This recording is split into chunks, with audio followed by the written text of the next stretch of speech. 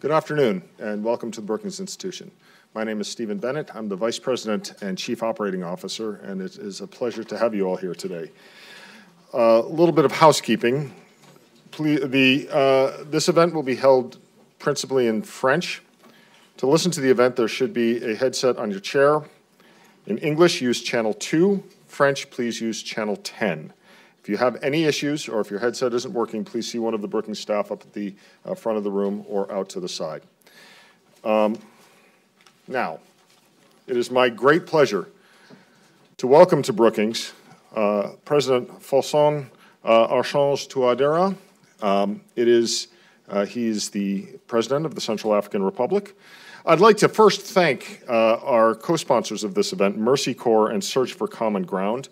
Uh, they've been terrific partners, and uh, they've done outstanding work on dialogue and community reconciliation in the Central African Republic. So, uh, President Touadera, uh, thank you very much for being here. It is a, a pleasure to host you. Um, your, uh, my colleague, Amadou Sy, the director of the Africa Growth Initiative here at Brookings, and his colleague, Amy Copley, uh, they've focused on the Central African Republic for several years now. Um, the, uh, starting in, uh, in March of 2014, uh, at the height of a sectoral and religious violence, Brookings hosted um, this, some religious leadership from the Central African Republic. Then uh, later that year, I had the great pleasure of introducing to another audience um, interim President Catherine Samba Panza. Um, in October of 2015, we had political leadership from both the United States and the Central African Republic to talk about the path forward. And, and, uh, and around that time, Amadou and his colleagues published a very good paper um, on the path to stability, uh, principally through community based peace building, which prioritizes economic recovery. So before I uh, welcome the president up to the stage, I'd, I'd like to just reflect on, uh, on one thing. The, the news from the Central African Republic that you get in, in the United States and in Europe is largely bad news.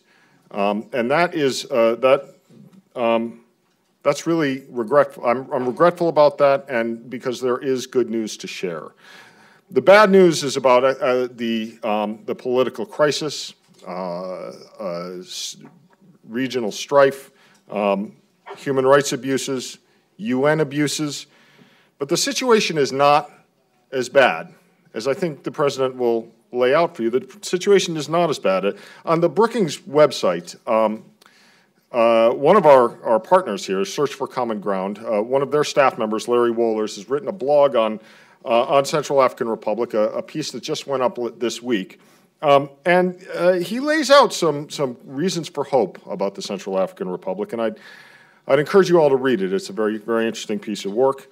Um, despite uh, the challenges facing the Central African Republic, uh, the peaceful and legitimate elections that have brought the president to power and brought uh, a, modicum of, of peace um, and stability to the country uh, is, is cause for the whole donor community to, um, to take some cheer. And there, there will be a donor conference coming up, which is going to be the subject of uh, a lot of this talk.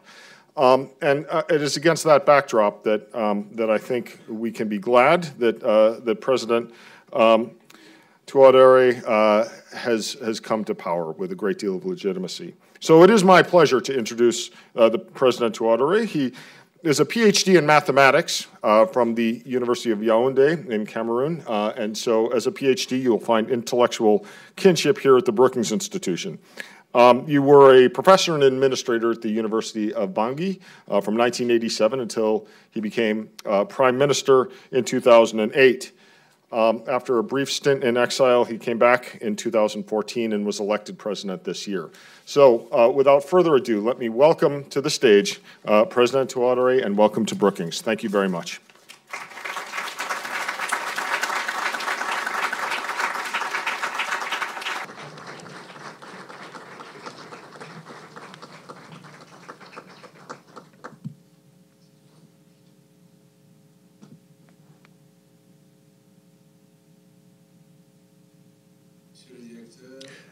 Mr. Director, Mr. Ambassador,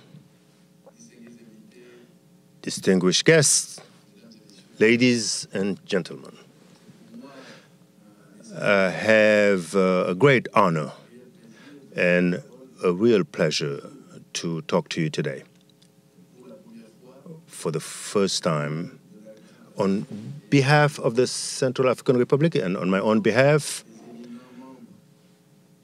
in front of the eminent representatives of Brookings Institution, I have the pleasure to talk directly to the political genius, the social genius of the American people.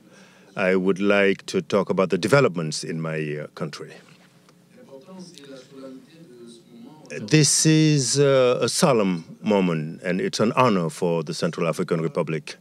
And it, this is why I would like, on behalf of the Central African people, my gratitude and thank you for the opportunity that your noble institute has bestowed upon me.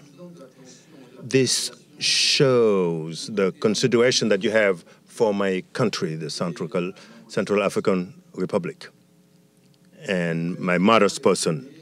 Allow me also to thank His Excellency Barack Obama, President of the United States, and the American people, our friends, for the warm welcome that I have received and my delegation has received since we came on this beautiful land of the United States, and particularly here in Washington for uh, its hospitality. The Central African Republic is grateful for the personal involvement of His Excellency President Barack Obama, involvement in our stabilization and in our peacemaking during the crisis. And also, let me seize this opportunity to thank the organizers of this initiative. My country appreciates greatly these kinds of meetings.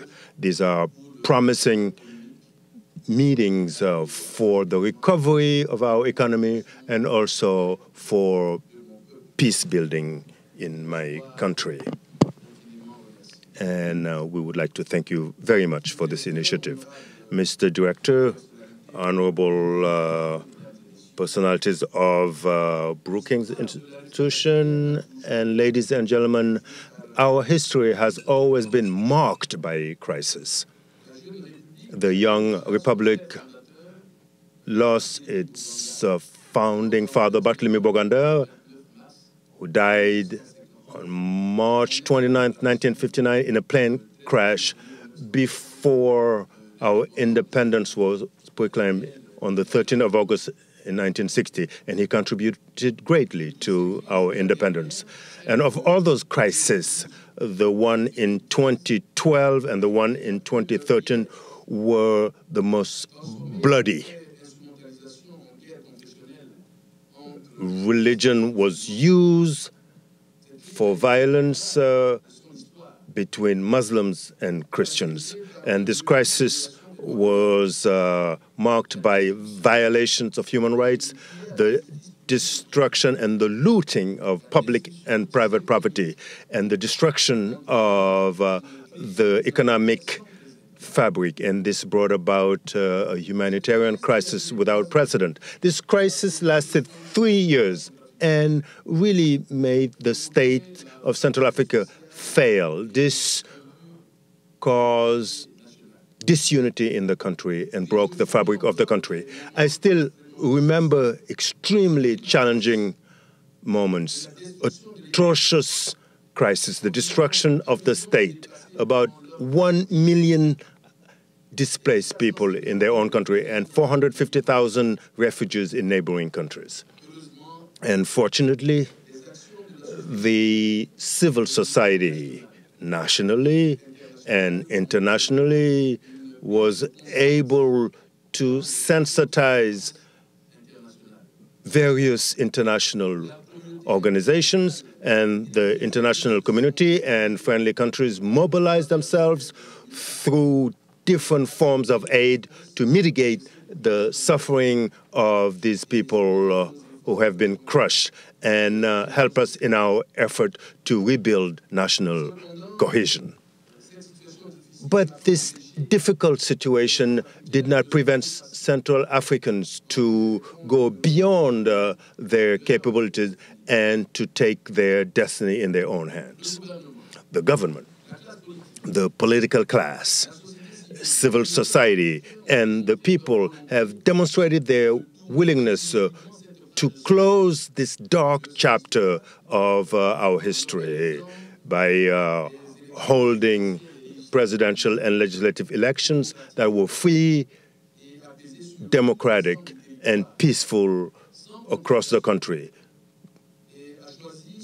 without any strife, and they were able to elect a president at 62% of the votes. And I am that humble servant. And uh, this is one of the best uh, exits from conflict. So I committed myself once I uh, held office to build a country of peace, of security, a country that's concerned with the search of cohesion and justice, uh, a country that would be economically strong, where corruption would be the main enemy of the government, a country that guarantees a space for freedom to the economic and political actors in summary, I have committed myself to building rule of law in my country. After I took the reins of power, I appointed the prime minister and set up my government. And the National Assembly is uh, working right now. I started the restructuring of our armed forces uh, so that we can have a democratic and inclusive military. I also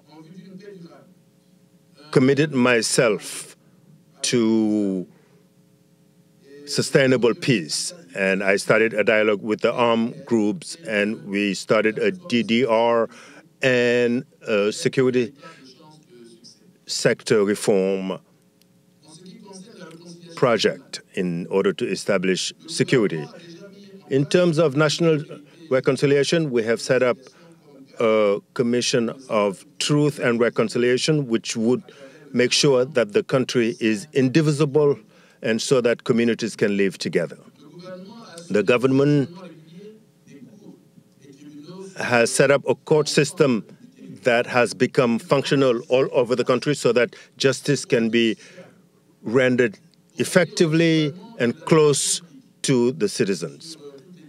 And uh, government authority is functional all over the country with the help of the international community. In terms of economic recovery, my second priority is the cleaning up of uh, public funds, uh, the restructuring of the customs, uh, the securing and uh, the organization of auditing systems for major corporations.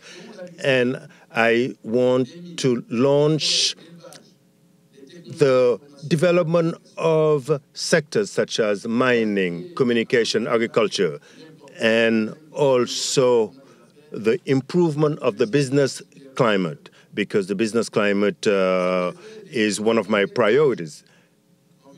We launch reforms to promote investment and to encourage the development of a dynamic private sector, a competitive uh, and a job creating private uh, sector that would reduce poverty. Eminent guests, ladies and gentlemen,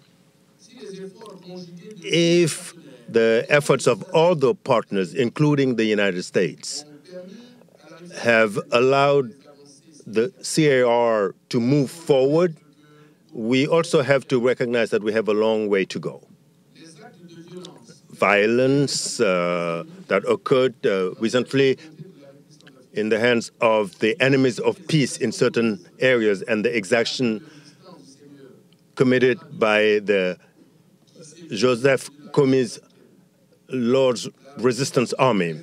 And uh, the rebirth uh, of uh, the axis of evil, these people who are causing violence, settling scores, all that shows us uh, that uh, the situation is uh, fragile. We need the input of everybody for social cohesion, for consensus, for dialogue among the people of Central Africa who all love freedom. Coming here, ladies and gentlemen, coming here in your great institution, we come to get strength from you, from your political, social, and economic know how, but also we came to convey a message, a message of hope. We come to get strength from you because uh, your institution is well known and has a tremendous experience in scholarship and in building economies, in humanitarian uh, policies, in governance, uh, in foreign policy, world economy, and development. You have demonstrated that uh, democracy can be strengthened, uh, security can be strengthened, and that opportunities can be found here in the United States. I will not uh, forget the securing of uh, an international system more secure, more prosperous, more cooperative. What a lucky country uh, America is by having such an institution.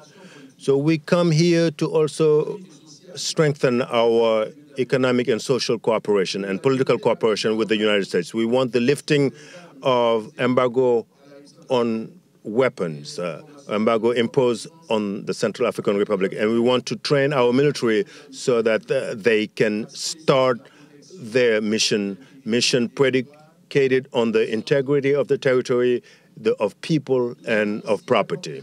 We also brought a message of hope and uh, friendship because the Central African Republic has some assets for sustainable development. Indeed, we have a geology, a hydrography, a climate, agricultural potential, forestry potential. So, therefore, we have tremendous opportunities and tremendous potential. We have no coast. We are in the heart of Africa. We have 623,000 square kilometers with about 5 million people. We have borders that we share with six countries Sudan, South Sudan, Cameroon, Chad, the Democratic Republic of the Congo, and the Republic of Congo. This country is tremendously rich in natural resources, but that are not well uh, developed or not enough. Uh, we have tremendous mining resources, according to the World Bank. Uh, in a study in 1995, we have 470 mining sites, and the partial lifting of the Kimberley process would open that uh, industry. We have iron, copper, gold, diamond, and hydrocarbons. We have four petroleum sites that have been identified, uh, and between one and five billion barrels that have not been exploited yet. In terms of agriculture, the country has 15 million hectares of farmland, and only 1% is being farmed. Uh, we have about 2 million cattle, and we have 16 million uh, areas uh, where they can graze. We have more than 5 million hectares uh, of dense forests, and 3.5 million of them have not been uh, developed. And we have uh, rivers, uh, and all this is opportunities for tourism, hunting, fishing, and energy production. in addition to this post conflict political situation, we have had some progress. Uh, like, for instance, uh, the GDP went from minus, uh, 36 percent in the middle of the crisis to 5.2 in 2016, and the inflation went from 6.6% in 2013 to 3.9% in 2016. This performance was uh, made real thanks to the efforts of the Central African Republic government, of our friendly countries, and the international community that I would like to thank very warmly. We had different forms of aid, and this has brought back peace and constitutional legitimacy. But you will agree with me that the situation needs some support. Support on the part of the international community. That's why the CAR is uh, closing this uh, dark chapter of crisis. Uh, we have come back to constitutional order. We have a National Assembly that's fulfilling its role. We have a government made up of technocrats representing the various political forces of the country, civil society in all the regions of the country. And so the CAR is on the right track, and that's why I encourage you, I implore you to come to our country. Let me, I, I cannot conclude without inviting the United States to take part to the conference of donors for November 17th, 2016 in Brussels so that we can uh, pledge some uh, funds uh, for the Central African Republic. I wish the U.S. good luck uh, in the next elections and long live the cooperation between the United States and the Central African, and long live Brookings, and uh, may God bless our respective countries. Thank you.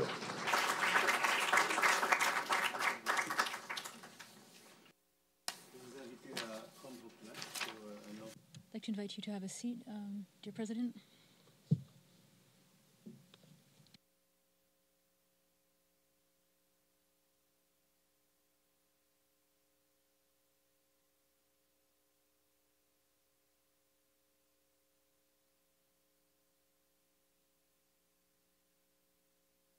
le,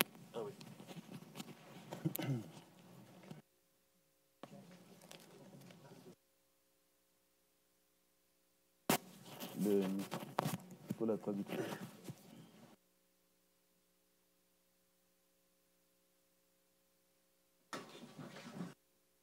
Je, je, vais vous poser les questions en français. Pardon? Je vais vous poser les questions en français. Ah, d'accord. Oui, d'accord. Oui.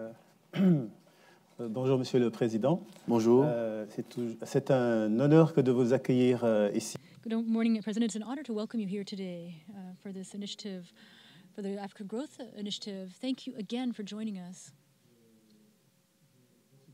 I'd like to take this opportunity to greet the audience as well as the representatives of the diplomatic corps who've joined us here today. I'd like to tell you uh, that we all are Central Africans. And so, my first question for you, if you will be so kind as to respond, I'd like you to try to um, perhaps bring us into the mindset of a citizen from CAR who doesn't live in Bangui, perhaps, who lives on the border of South Sudan, or Birao on the border with Chad. Perhaps describe what this person from Birao or Dubo has experienced. How did this person experience uh, the crisis that you mentioned? And with uh, the efforts of uh, the community, with the the church as well as other religious uh, communities.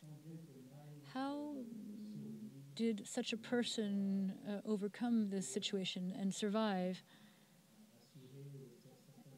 And how uh, were certain services uh, continued to be provided? Mr. President, from Bangui, how are you going to strengthen dialogue with citizens in the Central African Republic who are so far from the capital. How do you support uh, their efforts and their endeavors? Thank you. This is a very important question. As you know, one of our main priorities, as I mentioned in my introductory speech, we really want to focus on national reconciliation. We want to make sure that all Central Africans can have social unity, can regain social unity, and can live together.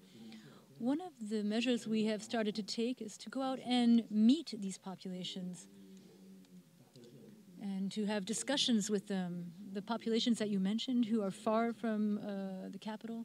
And as you know, the Central African Republic is very vast. Consequently, since I took office, I have tried, we've tried to go in, out and meet these uh, fellow citizens. We've been to Bois, and there we had discussions with our uh, uh, fellow citizens from Bois in order to try to really grasp what their main concerns are. We also went to Kaga-Bandoro, a region in the center of the Central African Republic. And here again, uh, people live in very difficult conditions. There are still armed groups in those sectors. And this, uh, in turn, has enabled us to meet these people, to have discussions with them and conversations, and also to have discussions with uh, the leaders and the representatives of the main communities. It's very important to have this contact with the population and to speak with them, to talk about peace, to talk about them with them about the new vision that the government is putting forth and what we are offering and we would like them to embrace this uh, process of peace and uh, reconciliation. We went to Bria. Bria is located in the east of the CAR. And um, we were welcomed warmly there. And we did the same um, exercise. We met all of uh, the leaders of the armed groups that have set up in that sector. And we were able to speak to them directly. We were able to tell them about our vision for this uh, disarmament um, process that we are asking them to uh, support. And it's in, a, in, some ways, it's a way of taking the pulse of the population in order to understand what their needs are, what are their immediate needs. We're also pleasantly surprised uh, to see uh, how vital this population is how motivated the population is to come back into the fold, to come back into the Central African Republic, who wants to leave the situation in which we find ourselves. And after this, I, I felt a great deal of encouragement after having been in touch with the population. This teaches us a lot of things in these particular regions, we met with populations and communities that were divided but are now living side by side again. And this demonstrates that social unity or social cohesion, cohesion are not just words. I was accompanied uh, by members of the international community, including the ambassador who is here alongside me, uh, with, with others as well in order to uh, have discussions with our fellow citizens. We also went to Sibut, and we're going to continue this. We're going to continue to stay in contact with the population and to reach out to them. We went to Obo. and that happened early on, and I would like to thank um, the ambassador because before I took office, as you know, the United States, uh, through the American Special Forces, have been assisting us in Obo to fight against uh, the Lord's uh, Resistance Army. The Lord's Resistance Army has been uh, threatening the population in that particular region. And in order to uh, root them out, we have the support of uh, the United States. we also have troops from the Uganda, along with our troops, who are attempting uh, to protect the population and to fight against the Lord's resistance army in that particular area. This in turn enabled us to identify what were the key preoccupations of our population in that context. And based on these various visits, we're able to truly take the pulse of the population and to take stock of the situation in order to understand uh, the issues in the field. And those are just a few examples of some of the initiatives that we have launched. In addition, we also have discussions with uh, the representatives of these various regions who are deputies, uh, who are parliamentarians, and uh, we meet with them on occasion in order to discuss these matters. as well as uh, representatives of the state who live in these particular regions. And so here, here's a response to your question. President, we're going to leave Obo and we're going to come back to Washington, uh, perhaps via Brussels and Paris. I'd like to talk about Paris, in fact, We're on November 17th, excuse me, uh, in Brussels on November 17th, there will be an international, the International Donors Conference.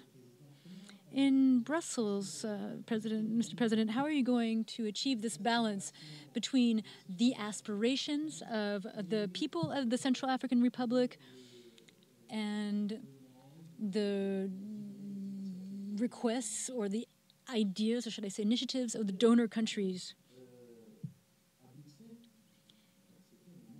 Brussels will be a key moment uh, in our country's uh, program. As you know, we are exiting a crisis. And as I mentioned earlier, this crisis destroyed uh, the economic fabric of our country. There are numerous problems. Um, there have been sections, uh, uh, buildings that have been destroyed, and our population really faces a great deal of insecurity.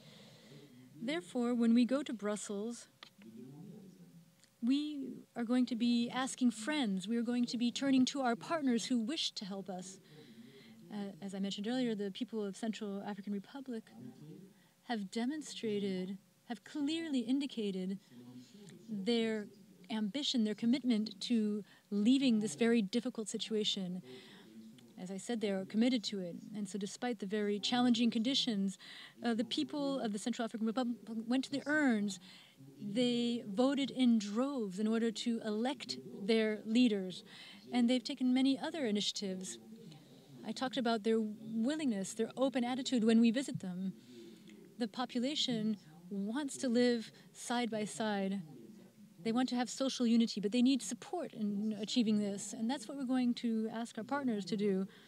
We're going to present uh, priority projects to our partners, projects for which, if we can have the necessary support, this will certainly help the population um, to really take charge of its destiny. But what you must keep in mind is that the people of the Central African Republic are committed, they are determined.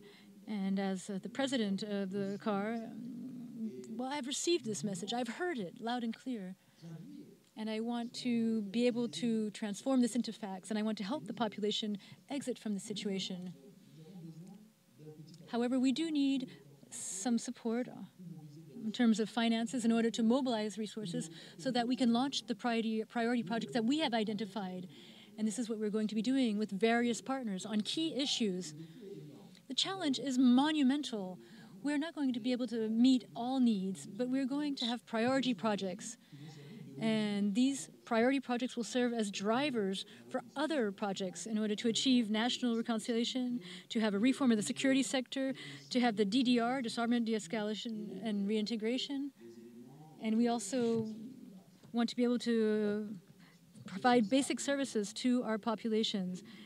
And that's what we're going to discuss with our partners, and we're going to invite our partners to support us with these projects. Now we're going to go to N'Djamena or Kinshasa or perhaps even Yaoundé to talk about regional integration.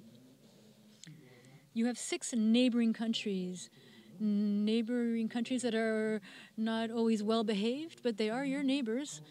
So, how are you going to strengthen regional uh, integration in this particular area?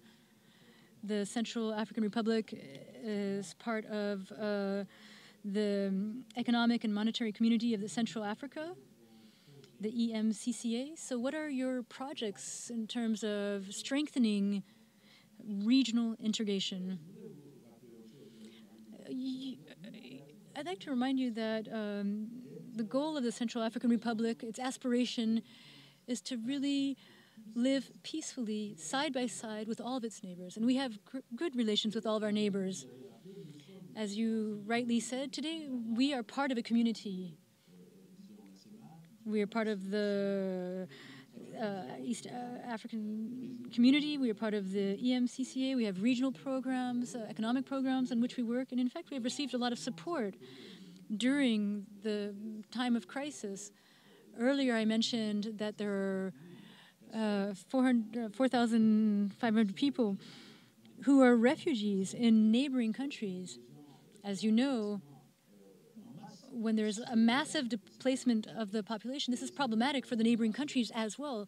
Yet these neighboring countries welcomed uh, the displaced populations.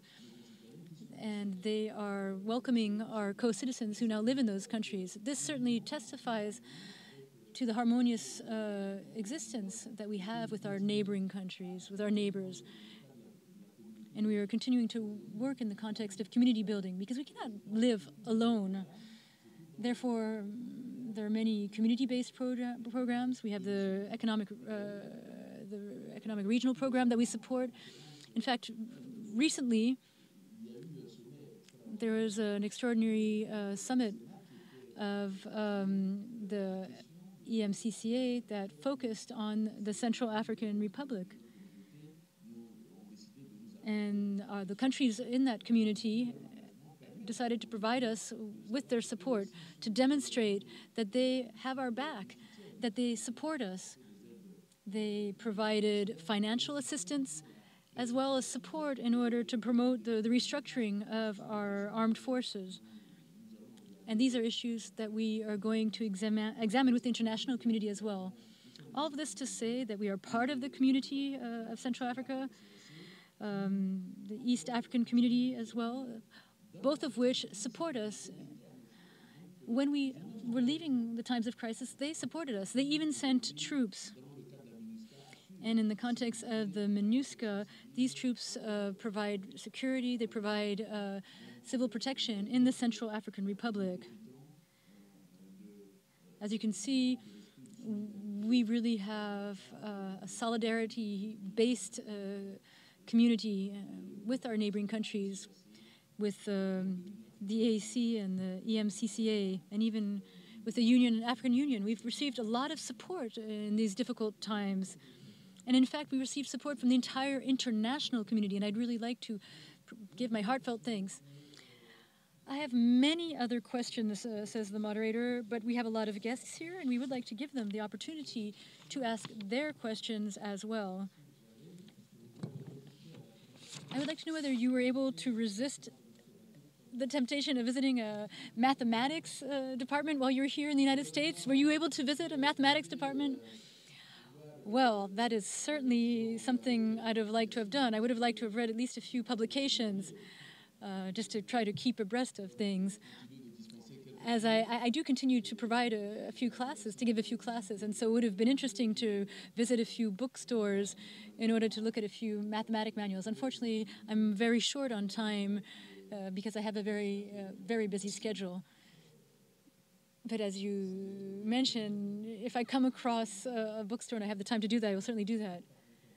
Uh, we could uh, you could offer internet courses from uh, all right, so we have a few questions.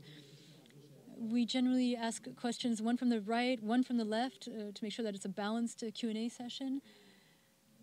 And um, we'll take a few questions, and then we will give time for the President to respond to them.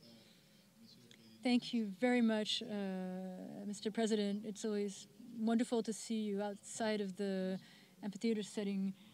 Mr. President was one of my professors and it's thanks to him that I learned uh, differential equations. He's a very demanding but very fair teacher. Uh, Mr. President, I'd like to address uh, national uh, reconciliation. In a family, when brothers argue or when they fight, this means that there's been an unequal distribution of resources, or this can be caused by the fact that the share of the pie is so small that everybody's fighting for the same uh, share of the pie. So, in the context of the Central African Republic, even during the crisis that the country weathered, I went to Bangui several times and to the outlying regions, and I realized that there are not really uh, any inequalities in terms of the regions. There are no poor regions and then uh, rich regions, as you might see in other African countries. There are no extremely wealthy uh, Central Africans. There are no uh, extremely poor. So inequality in the Central African Republic is not as marked as in other uh, African countries or in other regions of the world. Therefore, this issue of national reconciliation, in my opinion, is an issue of uh, social and economic progress first and foremost. Uh, the issue of poverty and making sure that everybody uh, has opportunities. So it's not by organizing discussions that we're going to resolve the issue, but I think rather it's by making the share of the pie much larger. This brings me to my question uh, regarding national reconciliation, which is a process in your opinion, how important is justice and the lack of impunity, rather, in this process?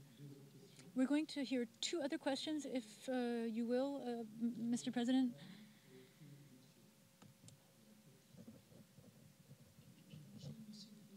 Uh, good uh, afternoon, Mr. President. My name is Gode Shakambo. I work with uh, an American, or, uh, American NGO, and we support and encourage development in rural areas as well as poverty reduction in general in Africa.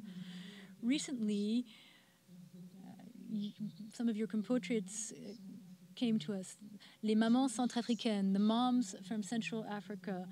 Their goal is to support various reforms that you uh, initiated with the aim of reducing poverty and promoting uh, national reconciliation and also to bring development to rural areas. We have prepared a document for you. We know that you have a very busy schedule.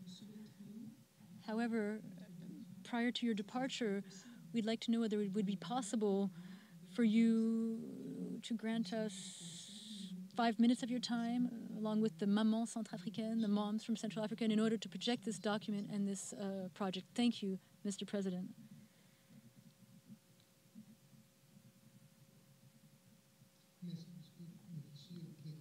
Um, Mr. President, I would like to ask you whether there will be, uh, uh, will you be welcoming American Peace Corps volunteers in your country? Will you be, I'm sure you're familiar with this program, the, the Peace Corps program. Uh, Mr. President, you had quest three questions. Well, let me respond to the first one, uh, the last one first, which is the simplest question regarding uh, Peace Corps. And I'd also like to grab this opportunity. As you know, the Peace Corps these are people who I've worked with uh, quite frequently, and I've seen how they have assisted and contributed to development. I see, I've seen how they've worked in difficult conditions, but I've seen how these people work very closely with the population. My wish, if I might say so, is to be able to welcome the Peace Corps to the Central African Republic and the ambassador will bear witness. The first time I saw him, the first time that I met him, I asked him, I said, What about the Peace Corps? Can we invite the Peace Corps? Can we receive assistance from uh, the Peace Corps in the Central African Republic? On a personal note, as an educator, I have worked with the Peace Corps. I've been in the field with uh, the volunteers for various other projects, and I've witnessed the effectiveness of the Peace Corps. I've seen how the Peace Corps truly works very closely to the population and truly assists uh, them and really meets the needs of our populations. Therefore, what you were requesting, it, it was a request. It was a very strong request but unfortunately, I have not received a positive answer yet. I continue to pressure the ambassador, the U.S. ambassador, so that we can implement uh, a Peace Corps mission as soon as possible in the Central African Republic. And I think it will be very useful for us in this phase of reconstruction and recovery uh, of uh, my country. This is a very important uh, form of cooperation. The Peace Corps is a very good partner.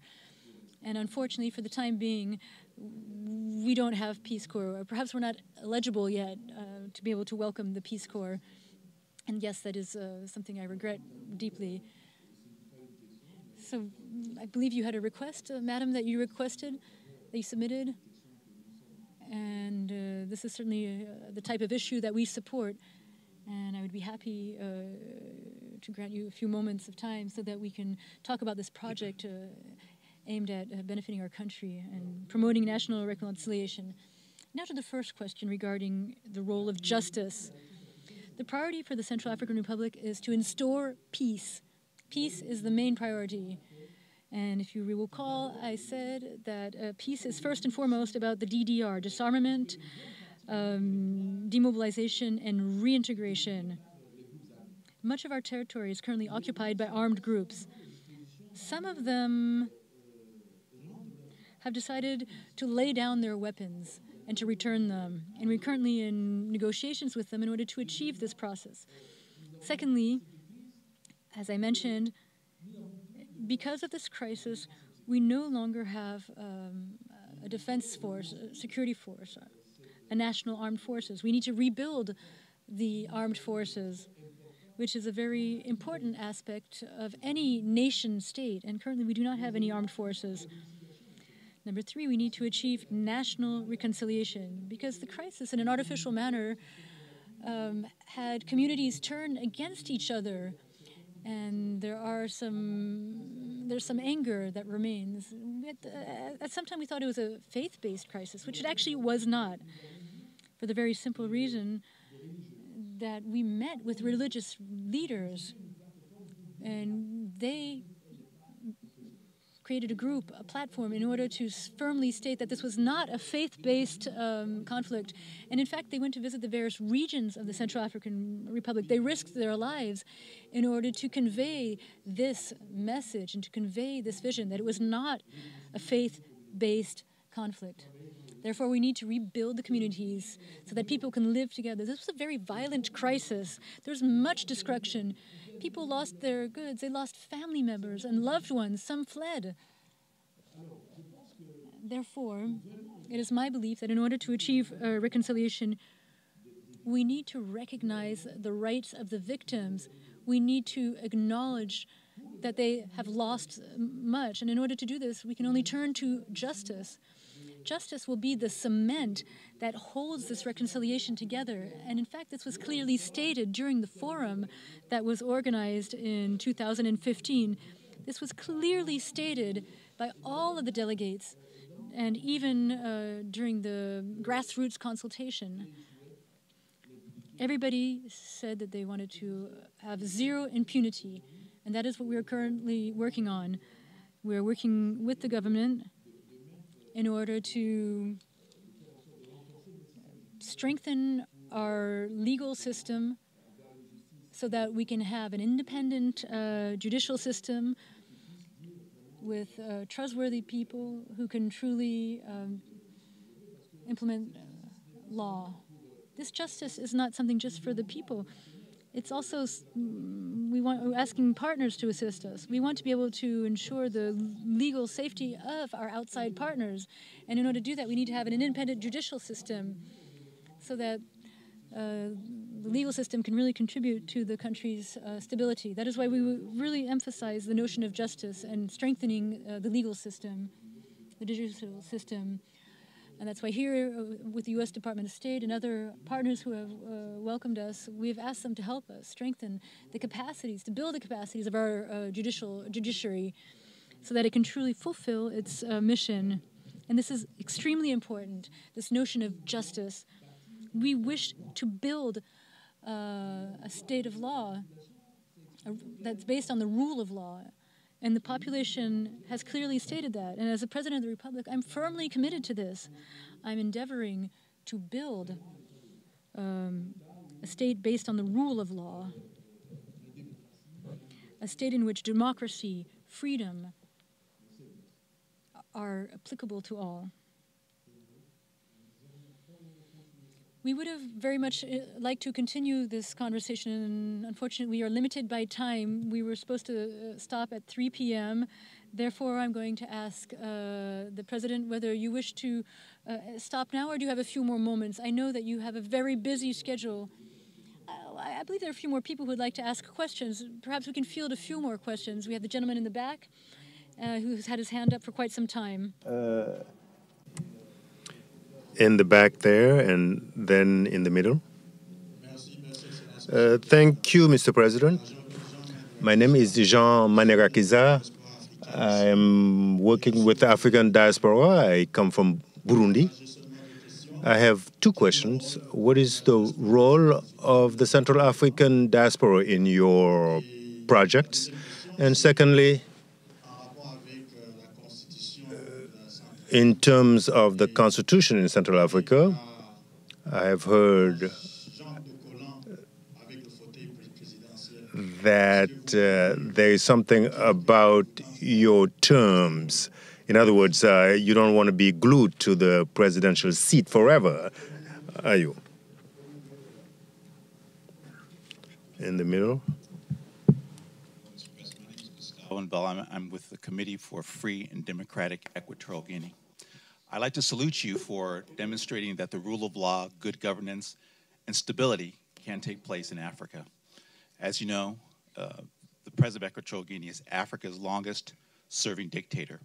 I know it's a delicate situation, but what would you do to urge African leaders who have overstayed their welcome and done so to the detriment of so many others? For those of us in the diaspora, what would you recommend, either gently or through diplomatic language, individuals such as Teodoro Obiang, Ali Ben Bongo, and the tragedy that's happening uh, in Gabon, what can those of us who respect what you do and represent the uh, winds of change, what would you recommend that we do in order to help about bring about stability and democracy in countries like Equatorial Guinea? Thank you. I think we got the point. I will take le, uh, le monsieur au milieu, juste là. In the middle there, gentlemen.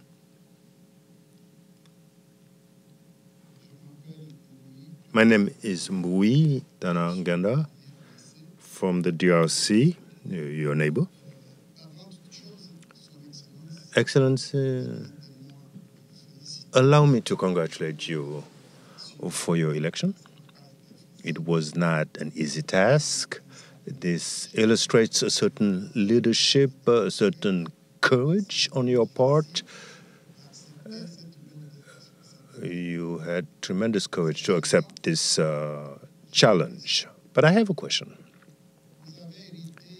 You inherited a challenging situation, but why didn't you think about, from the get go, about an emergency plan, so a three year plan, to stimulate the economy you talk about the meeting of donors. Uh, you're going to have a list of projects, but don't you think that you're going to suffer because of a lack of coordination in terms of implementation those projects? Because you don't have a global plan. So, did you think about uh, a plan before the end of your first term? Thank you.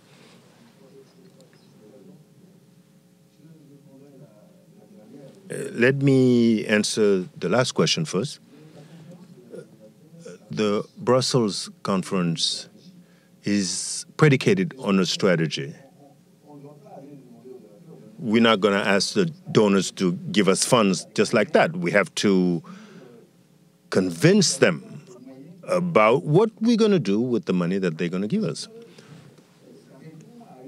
is this consistent with some kind of a logical plan? Is there a plan, as you suggest? This is uh, our strategy, and this strategy takes into account uh, the three years that are coming. So we might even have a five year plan. Of course, we cannot go to a conference uh, without uh, a plan, a plan that would allow our partners to know exactly what our vision is, what is the economic policy that we want to pursue, and if they give us those funds, uh, would we be able to meet the objectives? We're not just going to have a list of uh, disparate projects that we're going to solve uh, this crisis, which is deep. Our needs are tremendous. As you said, these are priority projects, and we think that we can leverage these uh, projects. Uh, and it's not going to be in three years that we're going to solve all our problems. Uh, we're going to go gradually in order to lay the foundation of our national economy, not only politically, but also economically. That's uh, what I could answer. But the Brussels conference would be predicated on a strategy, a three year strategy. Uh, at the end, thank you for your question. You know that today there are different funding sources for development. The diaspora can be a source of uh, funding for development. And there are also skills that the country can depend on for its development. And that's why in my government, there is a ministry that uh, handles this particular sector? In other words, how can the diaspora help us? Uh, it's the Minister of Foreign Affairs who's also responsible for Central Africans overseas, how to deal with them and how to have them come back home and help us. We know that uh, a lot of our skilled fellow citizens are overseas? How can we identify them? How can we have a strategy that would allow them to come help us? For those who have resources, how can we encourage them to come invest in the country? Uh, we have to find a mechanism uh, so that uh, uh they can use their savings in our country. These are the kinds of ideas that uh, we have asked the Ministry of Foreign Affairs to explore uh, in terms of the role of the diaspora, because this is very important for us. You know that uh, our countries do not have uh, the schools to train uh, people, and we have had a lot of crisis, especially us uh, and uh, our fellow citizens who are overseas are afraid to come back home. But we have to create a climate to show them that we need them. When I go back on the 29th, um, I would have some uh, interaction with them, especially those who are in Paris, because there are a lot of our fellow citizens in Paris. I can talk to them and try to motivate them so that uh, they can help uh, the country. We need them. Uh, and we need the resources, the human resources. Uh, we need uh, skills uh, from people who can come and contribute to the development of the country. In terms of the other question, we have a constitution. You know that the constitution went into effect the day I was sworn in. So uh, my mission is to uphold that constitution uh, this fundamental law of the country, and this is uh, the vision of the Central African people. And I think that uh, this was clearly expressed. We suffered too much from violence in my country, and uh, we don't want to add to that violence. So be reassured uh, on that particular question. We will uphold the Constitution. You know that every nation has its vision, and we do respect the will of each nation, each nation's constitution. We are members of different organizations, uh, the African Union, CEMAC, uh, CRC, and these questions are topical, and we have an international vision and we support uh, all the recommendations uh, from these different uh, organizations. Unfortunately, I just received a note telling me that we have to close it up. I first started by saying that we all feel uh, that we are all Central Africans. We feel the same at the end, and I hope that we're going to see each other in uh, Bangui. And on that note, Mr. President, thank you very much for accepting our invitation and to come here and talk about the future of the Central African Republic. Thank you very much. Thank you very much, everybody.